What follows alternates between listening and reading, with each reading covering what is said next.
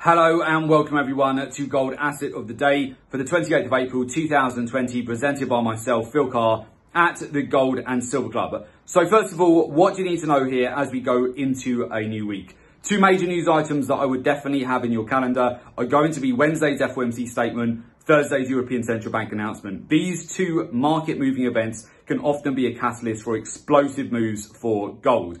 We've mentioned this before, but certainly in the current environment of lockdown where you may have more time available, this is just a perfect opportunity for you to learn the markets, observe these major news items, their impact that they do have on gold. You definitely want to not miss out on those tradable opportunities. And at the moment, when we are in a low interest rate environment, this is a great way to be able to benefit and gain profits fast in the market. You can really capitalize on these very fast moves that we often see for gold over these major news items. Now, as we discussed last week, last week we were actually selling short gold, banked 150 points on the long side. And in fact, we've re-established fresh positions again here for gold on the long side for this week. So we're looking to capitalize on the potential of a breakout back towards the recent swing highs. We do need to see a bit more evidence that that is occurring over Wednesday and Thursday. But at the moment, we seem to have had another bear trap for gold, which is a false break of support over Tuesday's European session. We're subsequently seeing gold break back above 1700,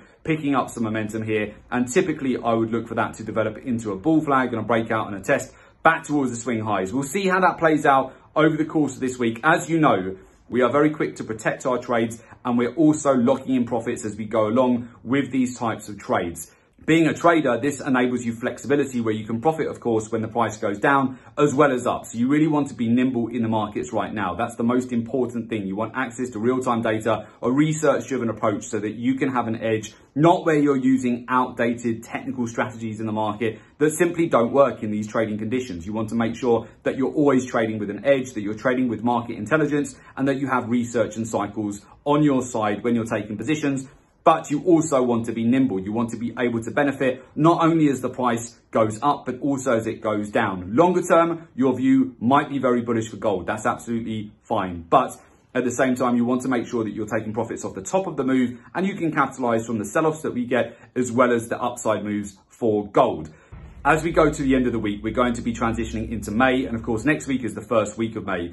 Typically, what we do see is the dollar can pick up momentum certainly into May and the first week of the month in particular. So I would look out for this. If we do see dollar strength come back into the market next week, this is where we could see gold under pressure. We may in fact see breakouts to the upside that get sold into even this week. So if we do see some follow through on gold, if we tap back towards resistance, the recent swing highs, the seven and a half year highs, we may get traps around those zones where you could see a sell off later in the week or into next week. I would just be mindful of that. We typically establish our positions at really low entries. And then just as everyone in the market is starting to FOMO in, we want to bank the majority of our profits and even look to reverse position once we start seeing profit taking come into the market. So let me repeat that. Essentially, as we move into May, we could see the dollar strength come back into the market. As the saying goes, sell in May and go away as it relates to commodities. We might see a short-term top for commodities such as gold, silver and so forth. We could see them correct into next week. Now, we do need to see evidence that this is occurring. You don't want to be blindly selling into the metals until you see that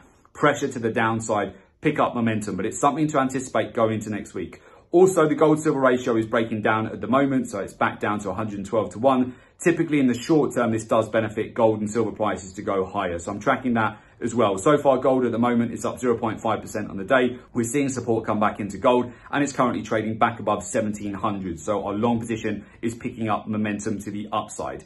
So that's our expectation with gold over the course of this week. And as I mentioned, if you would like to learn a research driven approach to the markets and get your edge where you're not utilizing outdated technical strategies, but you're actually using market intelligence and you're taking advantage of a research driven approach, do just click on the link below this description to make an application to join us at the Gold and Silver Club. And of course, make sure you subscribe to this YouTube channel. That way you're always kept updated with all of the latest commodity reports. So with that, that's been gold asset of the day. And of course, I wish you good trading.